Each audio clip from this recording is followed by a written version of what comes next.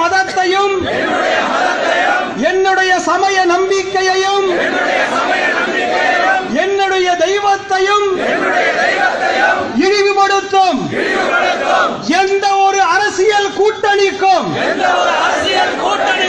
இனி எந்த இந்த தேர்தல் மட்டுமல்ல எந்த தேர்தலிலும் நான் வணங்கும் குல தெய்வத்தின் சாட்சியாக சாட்சியாக